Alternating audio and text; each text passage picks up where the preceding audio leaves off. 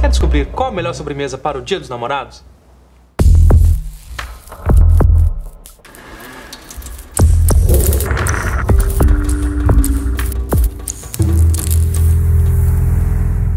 Bem-vindos ao Receita Zafari.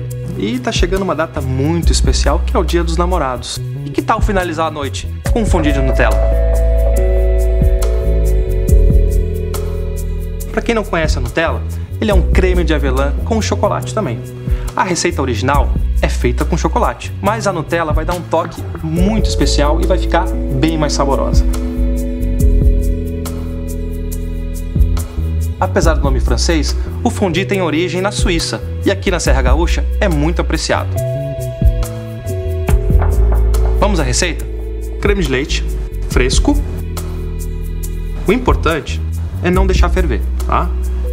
Se aquecer demais a panela, a Nutella pode grudar no fundo e queimar, então cuidado. Caso ele aqueça demais, tira um pouquinho do fogo, né? espera esfriar e mistura a Nutella. Já está na temperatura boa, eu vou desligar o fogo e adicionar a Nutella. Agora é colocar na panelinha de fundir e servir.